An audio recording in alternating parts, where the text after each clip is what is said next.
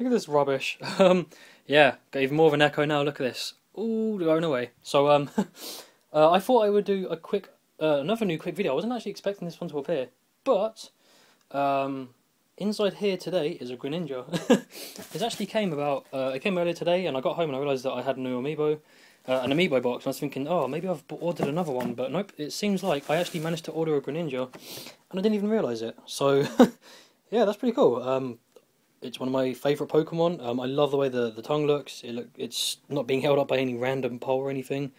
Um, much like the Splatoon girl and Splatoon boy, they've got that thick, kind of chunky looking hair. how you want to describe it. But yeah, the uh, Greninja amiibo. Really happy about that because um, it's actually one of my favourite Pokemon. It's one of the ones in my that's in my main team for Pokemon X and Y or Omega Ruby and Alpha Sapphire.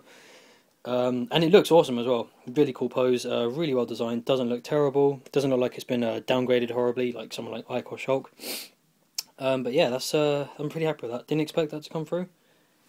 Um, something else that's really cool that I just noticed as well, funny enough from NeoGaf, is uh, from the guys collecting there. Is they, they pointed out this, and you may not spot it at first, but if I do this, if I do this, you will see that there is a significant change uh, in size of the amiibo box. And I didn't actually notice it yesterday when I made the um, Splatoon amiibos, but yeah, apparently, um, uh, not apparently, um, so it seems, I should say, the um, amiibo boxes have now gotten smaller.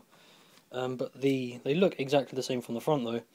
But as you can tell from the top, the um, oh bloody hell, the amiibo size is actually pretty small now. So if you put it like that you can see the uh, the difference in size is uh, pretty significant, and I'm okay with that actually. Um, there's no reason for this kind of space you can see here uh, to really be there. I mean, this is like kind of uh, I think that's the right kind of space you should have for an amiibo box. Uh, I'm actually very happy with the change. Um, it doesn't bother me at all whether it was the whether it stays the same or not, but um, I do welcome the smaller packaging. So yeah, it's kind of cool. Didn't notice that before, but uh, someone pointed it out to me. So yeah. This will be the last. Now, this is most likely going to be the last one I get, unless I get one tomorrow or on Saturday. So yeah, I'm going to see what happens. I want to see if I ordered a Jigglypuff at all, but Greninja, one less one, one less amiibo to go down.